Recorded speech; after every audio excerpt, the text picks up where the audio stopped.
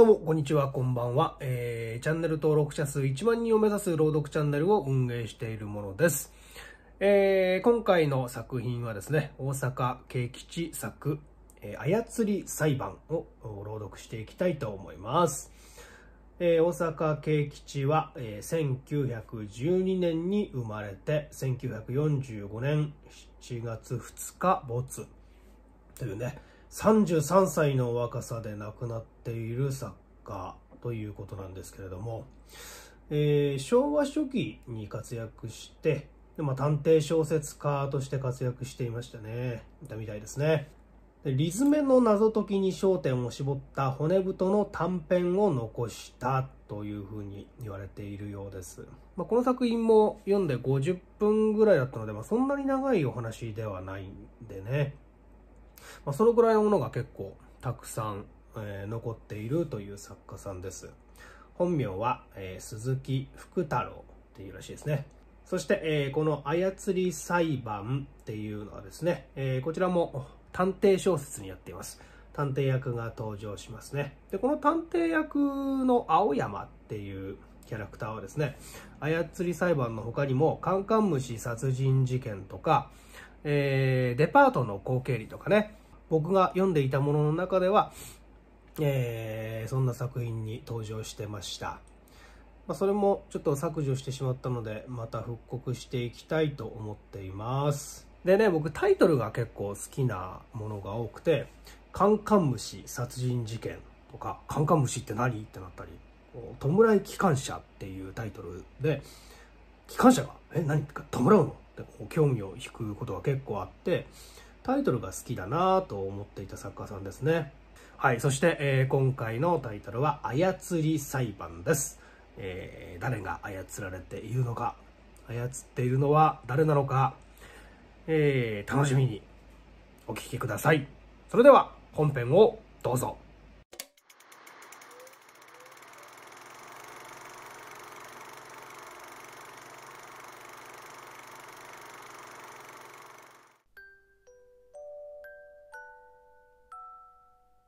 大阪慶吉。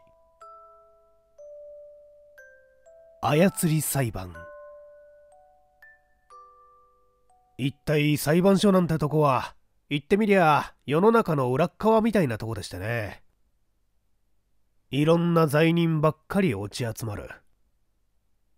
そんなとこで20年も小遣いなんぞ務めていりゃ定めし面白い話ばかり見聞きしているんだろうと思いでしょうがところが、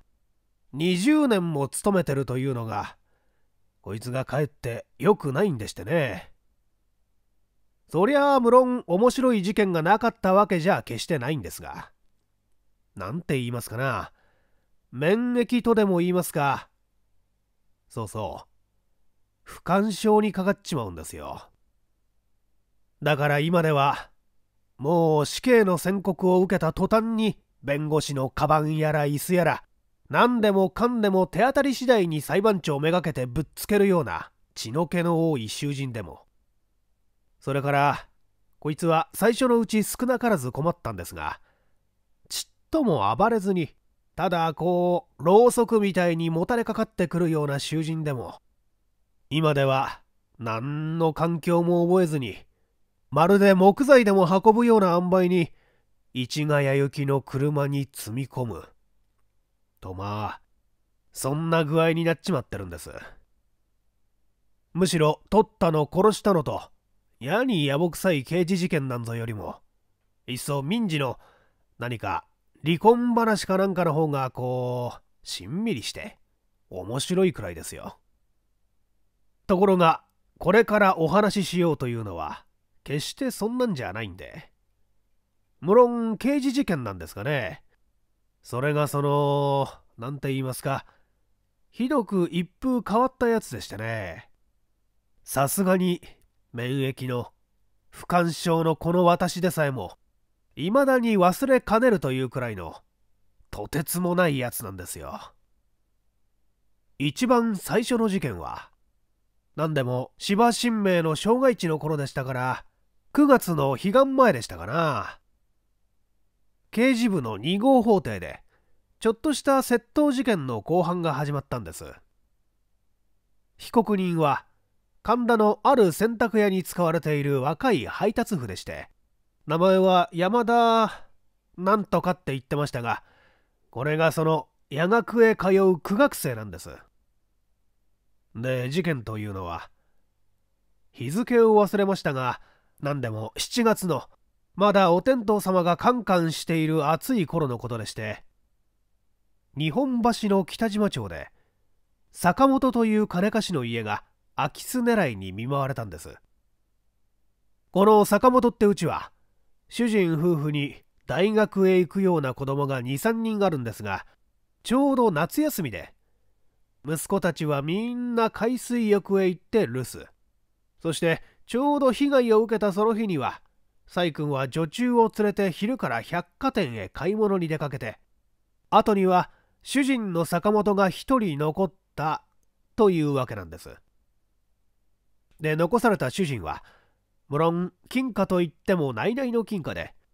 下田屋のことですから玄関口に錠を下ろして座敷で退屈紛れに書見をし始めたんです。ところが3時の時計の音を聞いてからついうとうととまどろんじまったんです。それから20分ほどして買い物に出かけたサイ君が3時20分に女中と一緒に帰ってきたわけです主人はそれまで20分間というものすっかり寝込んじまったんですで帰ってきたサイ君は仕方がないから情の下ろしてない勝手口から入ったんですが入ってみて台所の板の間からすぐ次の茶の間の畳の上へかけて土足の跡を見つけてびっくりし慌てて座敷の主人を起こすと同時に茶の間の茶ダンスを調べたんですが海水浴へ送るつもりでちょっとそこの引き出しへ入れておいた300円の金がない。とまあそんなわけで早速事件は警察へ移されたんです。警察では最初流しの空き巣狙いと見当をつけて探したんですがやがて出入りの商人が怪しいということになり坂本家へ出入りする御用聞きが片っ端からしらみつぶしに調べられたんです。でその結果今言ったその神田の洗濯屋の外交員が挙げられたんです。もっとも挙げられたと言ってもその洗濯屋が自白したわけじゃ決してないんですがね。何でも。当人の言うところによると無論坂本家は取引先に違いないがその日は寄らなかった。北島町へは行ったがそれは昼頃のことで事件のあった2時頃には蔵前へ行っていた。と言うんです。で北島町の方を調べてみると確かに23軒の得意先へ昼頃に寄っていることは分かったんですが蔵前の方は一軒も得意はなく何でも新しく作ってみようかと思ってただこうブラブラと白いペンキを塗った手車を引いて歩き回ったというだけで誰も承認はないんです。ところが一方坂本家を調べてみると勝手口の戸の引き手についているはずの指紋は後から帰ってきた女中や細君の指紋で消されているが板の間の土足の跡がちょうどその洗濯屋の履いていた白靴の跡と大体一致するんです。そしてまたその洗濯屋の店へ刑事たちが踏み込んで調べてみると山田なんとかってその配達人のバスケットの中から200何円って大金が出てきたんです。もっとも本人は将来自分が一本立ちをするために普段から始末して蓄えた金だと言い張ったんですがまあそんなわけで嫌おうなしに総局となり余震も済ましていよいよ後半ってことになったんです。ところが事件そのものは大したものではないんですが検察側にも被告側にもしっかりした証拠がないもんですからいざ公判となるとよくあるやつで割に手間がかかりましてね。それに気の毒なことにはその洗濯屋は何でも四国の生まれとかで小さな時から一人も身寄りってものがないんです。店の親方もそんなことで警察へ引っ張られてからはまるっきり突っ放してしまうし被告のために有利な証言をしてくれるのは感染の弁護士一人きりなんです。ところがこの感染弁護士ってのがそう言っちゃなんですがひどく事務的でしてね。どうも洗濯屋の立場が危なっかしくなってきたんです。ところがこの身寄りもない貧弱な諸生っぽの被告に突然救いの神がそれも素晴らしい別品の救いの神が出てきたんですよ。あれは第2回の後半でした。証拠調べの始まる前に弁護士から突然証人の申請が出たんです。と言っても無論これは被告から頼んだでもなく弁護士から頼んだでもなく全く赤の他人が進んで証人の役を買って出たんですから。裁判長は検事さんと合議の結果すぐにその証人を採用したんです。そこで証人の出頭ということになったんですがその別品の証人というのは吉町の坪藩という待合の女将で名前は福田絹。年は30そこそこのどう見たって玄人上がりのしゃんとした中途島なんです。ところでいよいよ証人の先生も済まして証言に入ったんですがそれがまた実にはっきりしてるんです。で福田絹ってその別品の言うところによるとこの女将は商売柄いつも昼近くに起きるとそれから浅草の観音様へお参りする習慣だったんですがちょうどその事件のあった日も例によって観音様のお参りを済ますと帰り道でふと横綱町の震災記念堂をお参りする気になりそれに時間を見ればまだ3時を少し過ぎたばかりで遅くないからと思い蔵前で電車を降りたんですがその折白いペンキ塗りの手車を引いた被告を確かに見たというんです。なぜそんなことをよく覚えていたかというと、それはその白い車を引いた被告人を見たおかげで、その時まで忘れていた大事な着物の洗い針を思いついたからだというんです。そして事件の新聞記事を読んで、あの日の3時から3時20分頃までの間に、坂本家へ入った犯人が、写真に出ている洗濯屋だと聞かされた時からどうもおかしいとは思ったがさりとてそんなことを申し出るのはなんだかかかり合いになるような気がして悪いとは思いながら今まで迷っていたとこう言うんです。こいつは全く筋が通ってますよ。弁護士はにわかに元気づいて日本橋の北島町から浅草の蔵前まで車を引っ張って5分や10分じゃ絶対に行けないって頑張るんです。そこで裁判長から証人に対して時間の点や被告と対決させてその人相に見誤りはないかなどと念押しがあり検事さんと弁護士の押し問答があって結局判決は次回に回されたんです。さあその間に検事さんは躍起になってその壺藩の女将と洗濯屋の諸生っぽとの間に何か特別な関係でもあるんではないかってんで刑事を八方に飛ばして調べたんですがさっぱりダメ。どう洗ったってまるっきり赤の他人で壺藩の女将はまさに正当な証人ってことになるんです。まったくその諸生っぽは過方者ですよ。おまけに証人は特製の別品と来てるんですから。妙利につきますわね。でまあそんなわけでやがて洗濯屋は証拠不十分で無罪を判決されひとまずその事件もけりがついたんです。ところで話はこれからが面白くなるんです。というのはそんな事件があってからさよう半年もした頃のことでしたね。やはりその刑事部の今度は3号法廷である放火事件の公判があったんです。無論係の判事さんも検事さんも前の窃盗事件の時とは違っていましたがでその放火事件と言いますのはかいつまんで申しますと。被告人は三浦何菓子というゴム会社の職工で芝の三光町あたりに暮らしていた一人者なんですがこれがその何かのことで常日頃から憎んでいた同じ町内のタバコ屋へ。裏口から火をつけて燃やしちまったと言うんです。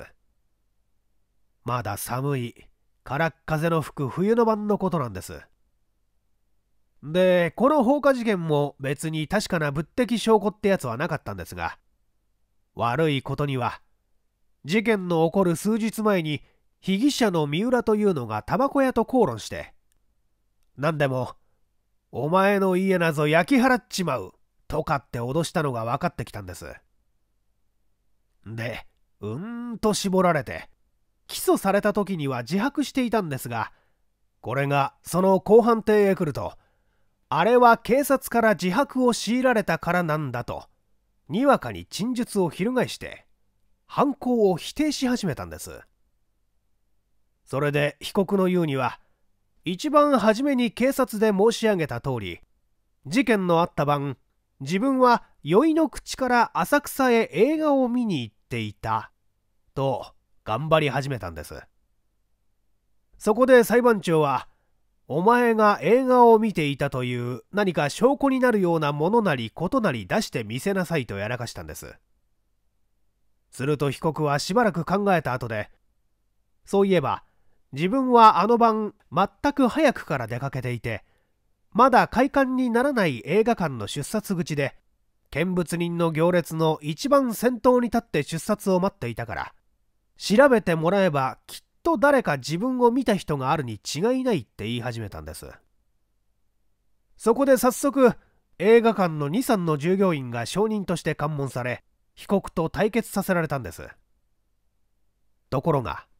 被告の申し立てる犯行当日における上映映画のプログラムや内容については間違いないんですが被告人が入場者の行列の先頭に立っていたということについては一日に何回も開館するのだし毎日のことだから少しも覚えがないってその証人の従業員たちは突っぱねちまったんです。つまり被告のために有利な証拠は一つもないってわけなんでして。いやそれどころじゃない。ここで被告のためにかえって悪い証人が出てきたんです。でその問題の証人というのは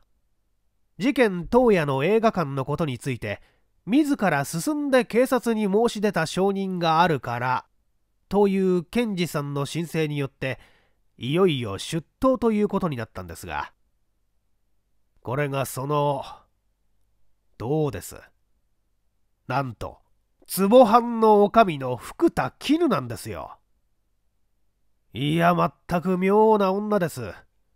よくよく裁判所に縁があると見えますよ。ここんとこでちょっとお断りしときますがね今も申し上げた通り前のあの洗濯屋の窃盗事件の時とは今度は法廷も違うし係の裁判官も違うというわけで洗濯屋事件の証人が放火事件にも証人となって出頭したというようなことは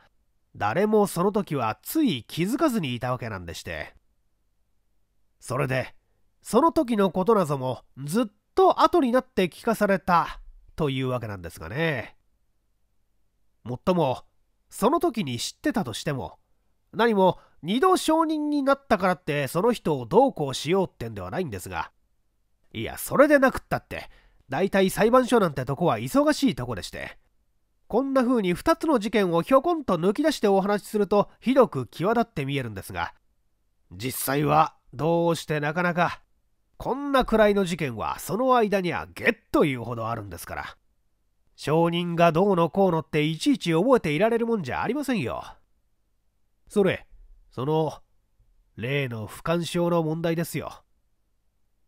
ところでその放火事件に呼び出された壺藩の女将なんですがその日このべっぴんは何でも縫い物の羽織かなんか着込んで髪をこう丸曲げなんかに結んでちょっと老け作りだったそうですがこれがその例によって型通り嘘は申しませぬと宣誓を済まして証言に入ったんですがそのお絹さんの証言というのは放火事件のあった晩に問題の映画館へ一番先に切符を買って入ったのはつまり入場者の行列の先頭にいたのは被告人ではなしにこの私だって言うんです。何でも商売柄しまいまで見ているわけにはいかないから早く帰ってくるつもりで早く出かけたのだそうです。そして同席の被告を見て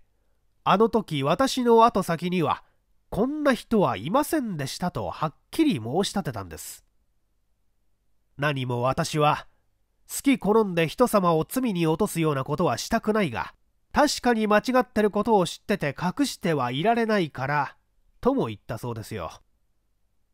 いや無論被告は無期になって怒ったそうですがけれどもその証言をひっくり返すだけのつまり逆の証拠がまるでないんですから。こいつはどうも点で見込みがありません。それに調べてみれば証人も被告もまるっきり赤の他人で少なくともそれまでこれっぽっちの恨みっこもない間柄ですから。お上の証言もまず正当な一市民の声としか取りようがありません。そんなわけで例によって裁判長の念押しがあったり検事さんと弁護士との押し問答があったりして吸ったもんだの挙句結局次回の後半には有罪と決まり懲役6年の判決を言い渡されましたよ。いやこんな風に申し上げるとまるで壺藩の女将の証言だけで被告が有罪になったように見えるかもしれませんが実際はそんなんではなく事件当時の状況や被告側に全然有利な証拠がないことや。それに被告人の平素の行状なんてものも盛んに侵釈されての上なんです。しかし無論福田絹の証言が判決に大きな影響を与えたことはまあこの場合確かに間違いありませんね。え？被告ですか？ええ無論すぐに控訴しましたよ。いやしかし気の毒だがダメでした。でまあそんなわけでこの放火事件もひとまずけりがついたんですがこれでこのまま終わってしまえば何でもなかったんですが。いやところがこれからが本筋なんでして問題はその壺藩の女将にあるんですがね。いやどうもとんでもない女なんですよ。そうですね。あれは放火事件があってから三月ほどしてからのことでしたかね。もうそろそろ夏がやってこようって頃でした。壺藩の女将がまたしても裁判所へやってきたんです。いや今度は私がこの目で見つけたんですよ。というのは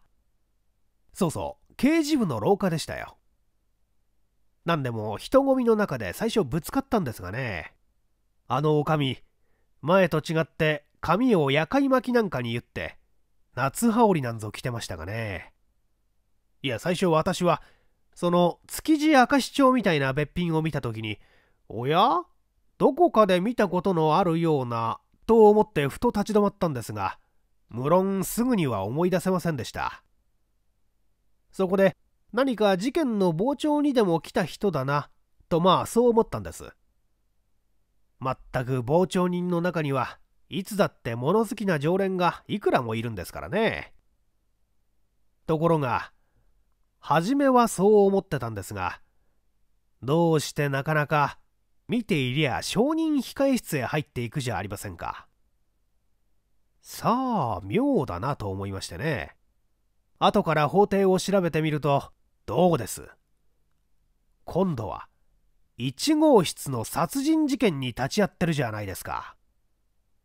もっともその時はまだ同じ女が洗濯屋事件の他に放火事件にも関係していたってことは私は知りませんでしたがね。それにしてもよく証人に立つ女だくらいに思ってちょうど休憩時間に1号法廷の弁護士がその弁護士は菱沼さんって言いましたがね。その菱沼さんが何か用事があって私たちの部屋へ来られた折にちょっと口を滑らして聞いてみたんです。するとその時は菱沼さん別に対して不思議にも思われないようでしたがちょうどそばに居合わせた私の仲間で夏目ってのがどんな女だって何から名前まで聞くんです。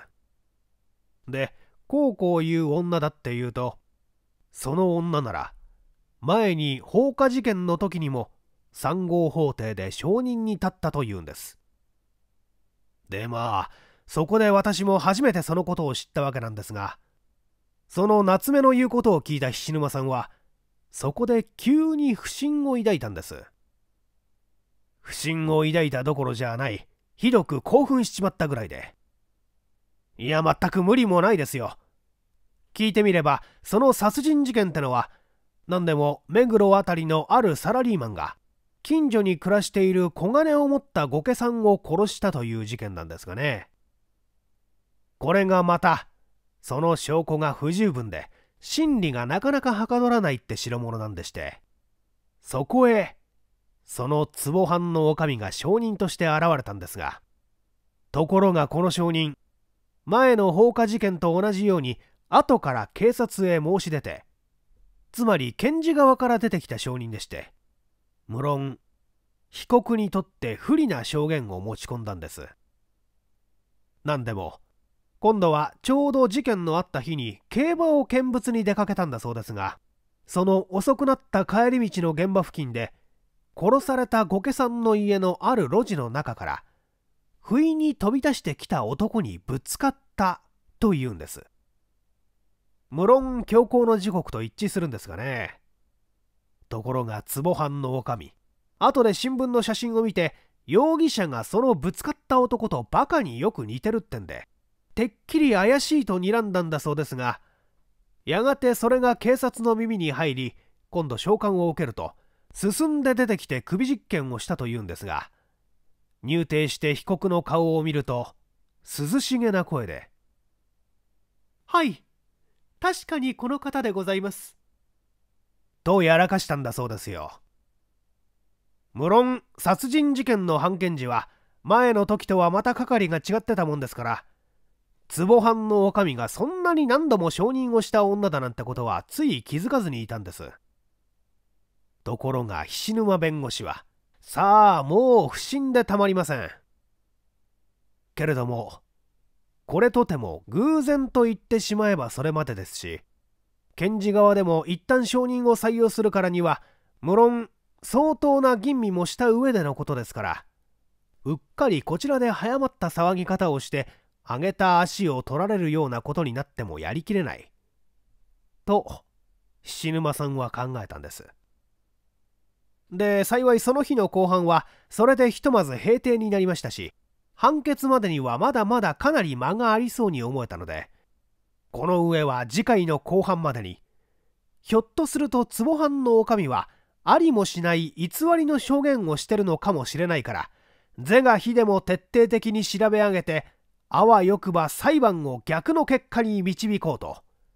まあそういう悲壮な決心をされたんですよ。いやまったくそれからの菱沼さんの真剣ぶりときたら旗で見る目も恐ろしいくらいでしたよ。無論他にもいくつかの事件に関係している忙しい体ですから毎日役所へは出てこられましたが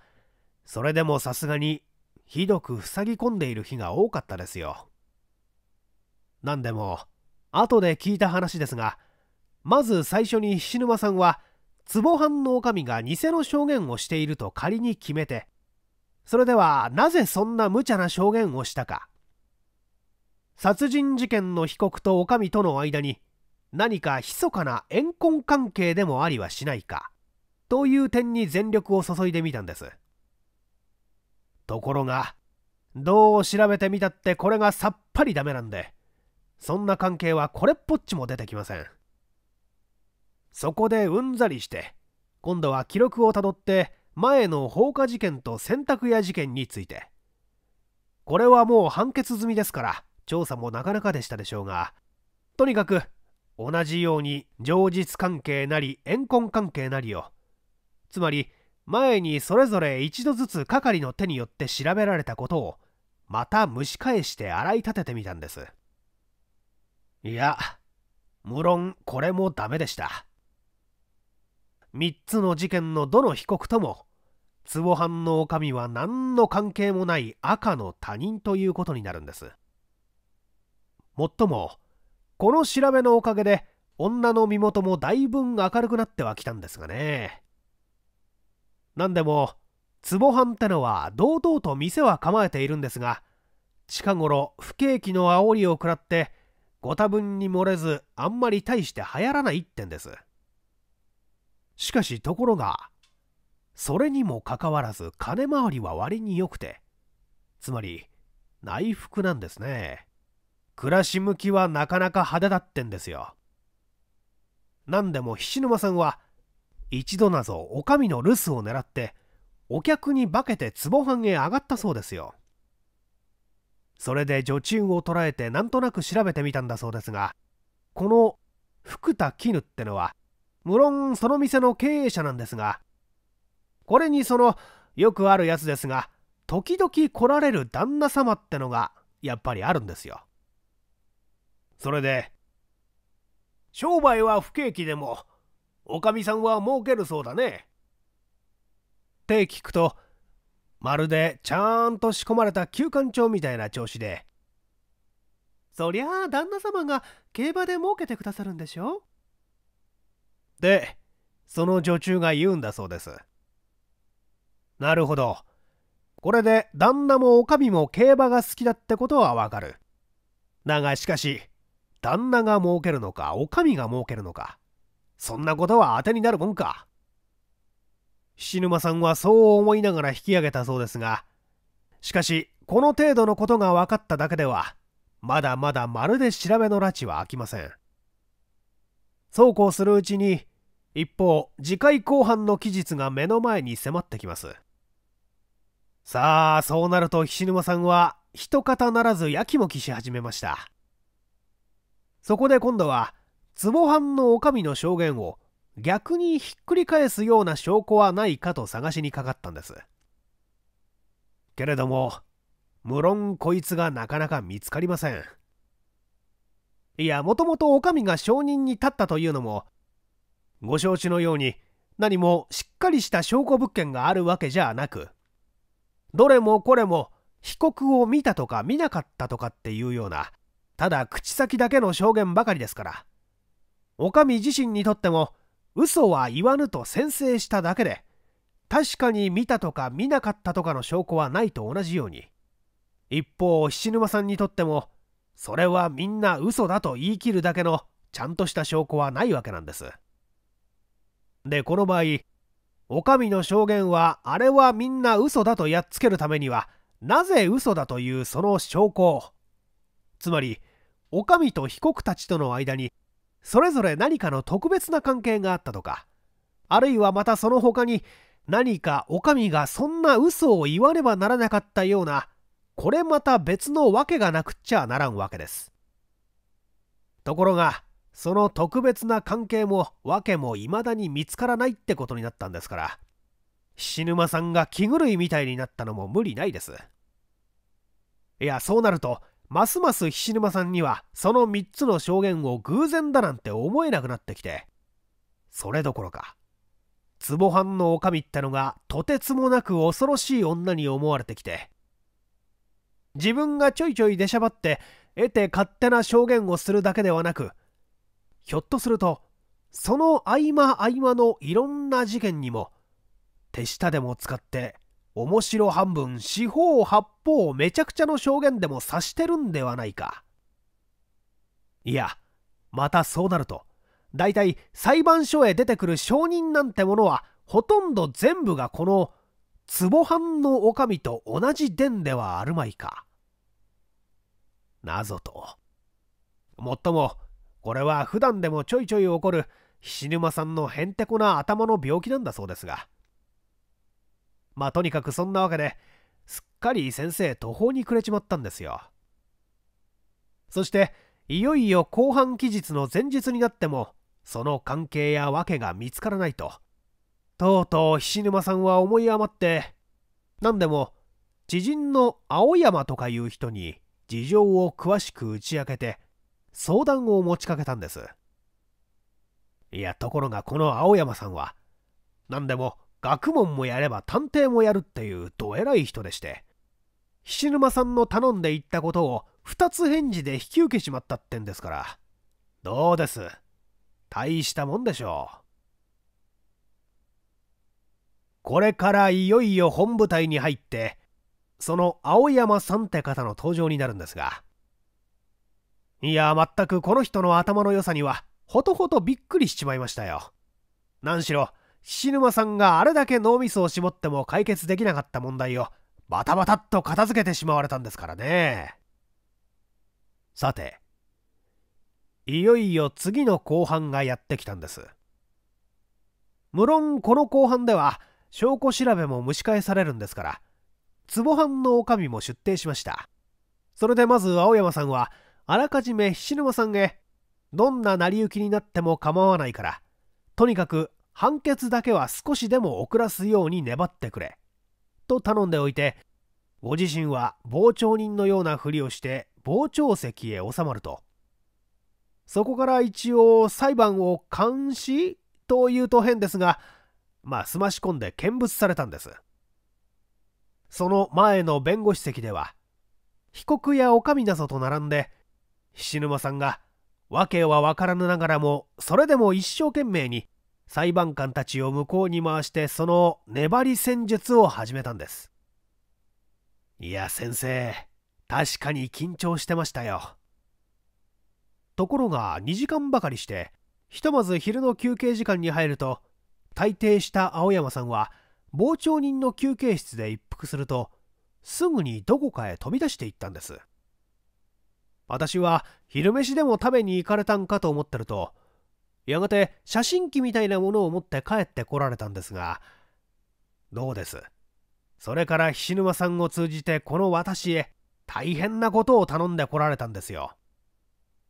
何でも菱沼さんの言われるには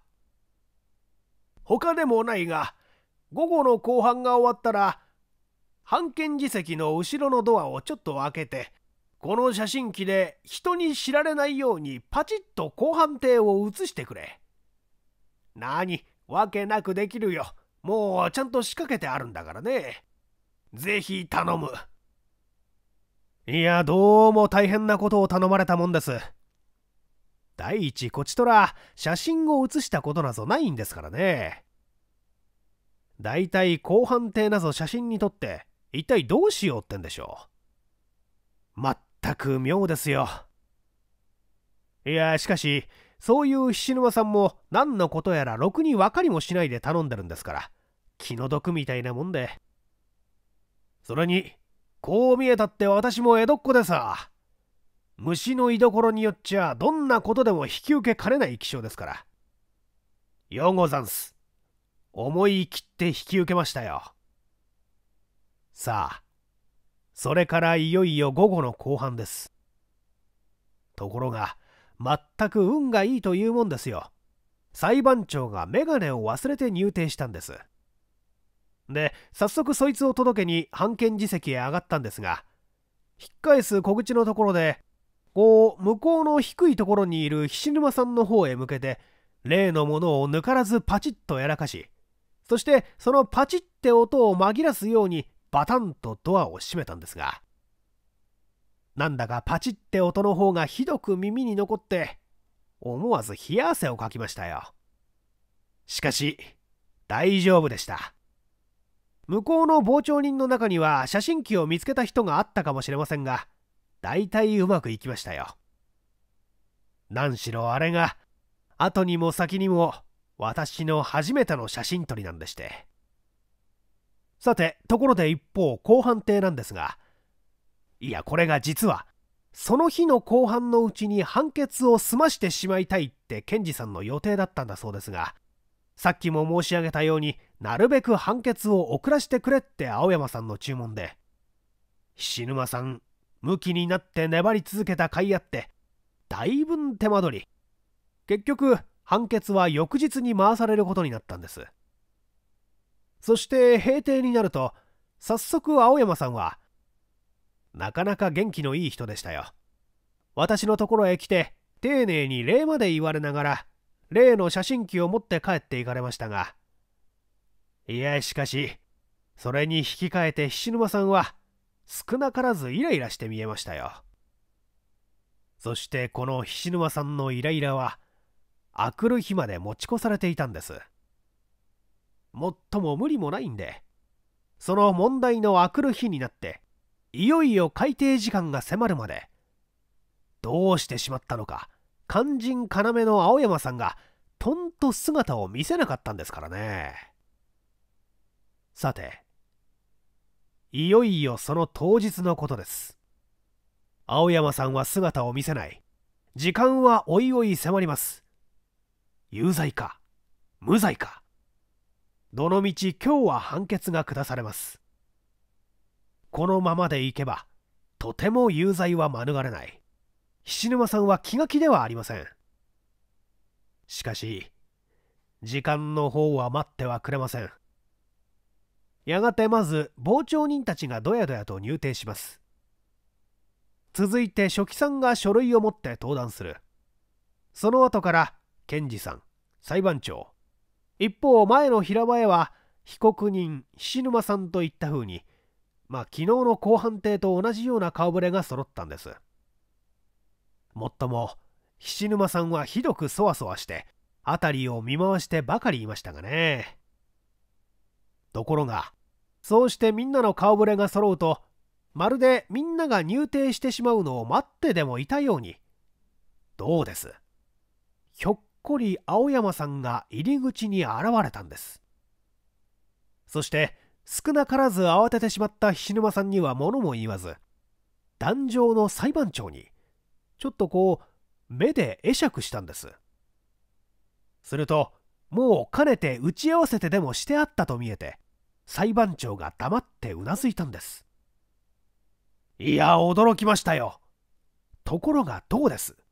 すると青山さんは外の後ろを振り返ってちらっと誰かに目くばせしたんですがその合図を待っていたように多勢の警官たちがどやどやっと法廷へなだれ込んできたんですよ。驚きましたね。一体警官たちは誰を捕まえに来たと思います？え？とんでもない。入ってきた警官たちはすぐにバラバラと散り広がるとどうです。きちんと着席してこれから始まろうという後半を固唾を飲んで待ち構えていた傍聴人を。そうですね。14人でしたかね。もっとも被告の関係者は別ですがね。とにかくその何の咎も関係もなさそうな赤の他人の傍聴人たちをぐるっと取り巻いちまったんです。一網打尽って形ですよ。いや全く面食らいましたよ。すると真っ先にその傍聴群の真ん中にいたこうゴルフパンツとかってやつを履いた男が鳥打ち帽子をひっつかんでバタバタと逃げ出したんです。無論すぐに抑えられましたよ。すると青山さんがその男の前へ行って「あんたが福田絹さんのご亭主でしょう。ちょっと身体検査をさせてもらいます」とすぐに警官の手によって上着を剥き取られてしまったんですが。するとどうです？直帰の隠しから茶色の封筒が1枚抜き出されてきたんですが開けてみると中から小さな紙切れが何でも123枚出てきましたよ。それでその紙切れには無罪片岡八郎だとか無罪小田誠一だとか有罪峰野義明だとかまるで何かの入れ札みたいな調子で天でに勝手な判決文みたいな無罪だとか有罪だとかって文字が名前と一緒に書いてあるんです。もっとも七分通りは無罪が多かったんですかね。いや無論そうしている間にも捕らえられた傍聴人たちはあっちこっちでおのおの抵抗したり格闘したりしておりましたがやがて主だった警官の命令で全部引き立てられいつの間にか裁判所の前に止まって待っていたトラックに積まれて警察へ運ばれていきました。一方間の抜けた法廷ではやがて裁判長が立ち上がると後に残った少しばかりの人々に向かって都合により判決は明日に延期します。ってやったんです。静かなもんでしたよ。いやもうお分かりになったでしょう。その連中は妙な博打を打ってたんですよ何でも後から詳しく青山さんのご説明を聞いたんですが無論この首謀者は壺藩の女将の亭主なんですがね。これがまた後で泥を吐いたところによると実に不敵な悪党でしてね。もうずっと前から法廷で博打をやってたんですよ。つまり常連の傍聴人になりすまして傍聴しつつある窃盗事件や詐欺事件やその他いろいろの事件について有罪か無罪かということを金をかけて勝負を決するんです。何でもゴルフパンツの言うことにゃこいつはどんな博打よりもなんかこうゾクゾクするような別の魅力があってとても面白いんだそうですよ。とんでもないことですが全く一人の人間が罪になるかならぬかで決まるんですから。そりゃあただの博打なんかよりは性が悪いだけに。それだけまた面白いんでしょう。いや競馬どころの騒ぎじゃありませんよ。それで最初は23人の仲間同士でやってたんだそうですがもともと玄人同士がやってたんでは互い損ですからやがて素人を引き入れ始めたんです。つまり休憩で退廷した時などに休憩室で遊び半分の傍聴者を誘って今度の事件はどうなるでしょう？なんてことを引っかかりにそれじゃあ一つ賭けをやろうじゃありませんかとまあそんな風に仲間に引き入れるんです。無論勝敗の結果はやっぱり玄人側の方がいつも出かけて裁判の成り行きというものに慣れてきてますので多少ともズブの素人よりは先見の明ったようなものができてますので勝ちが多い。図に乗ってだんだん病が深入りしとうとう今度のように証拠不十分で皆目見当のつかないような裁判に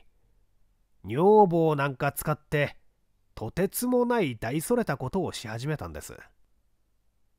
いやー全く呆れ果てて物が言えませんよ。しかしそれにしてもその青山さんの電光石火ぶりにはほとほと感心しましたよ。何でも青山さんは最初菱沼さんから詳しく話を聞いた時にどうも壺藩の女将がどっちへ転ぶかわからんような事件にばっかり登場することやどの被告人とも全然無関係で被告や検事から呼び出したのではなく自分の方から話を持ちかけて出頭していることや証拠物件はなくただ見たとか見なかったとかの証言ばかりだ。謎というようないろいろの点を考え合わせてどうもこれはお上が法廷の事情に明るいところから見てきっと法廷内に誰か相棒がいるに違いないと狙いをつけてまず傍聴人の仲間入りをしたわけなんです。それで傍聴席や休憩室で早くも妙な気配を感じると早速私に命じて例の写真を撮らしたんです。その写真をすぐに現像すると青山さんは壺藩へ遊びに上がったんだそうですがそこで何気なく女中にその写真を見せてカマをかけると「おや？この中にうちの旦那さんがいる」ってことが分かってそれでいよいよあの一網打尽の大取り物ってことになったんです。え？ええそりゃもう。お上は亭主同様重罪でしたよ。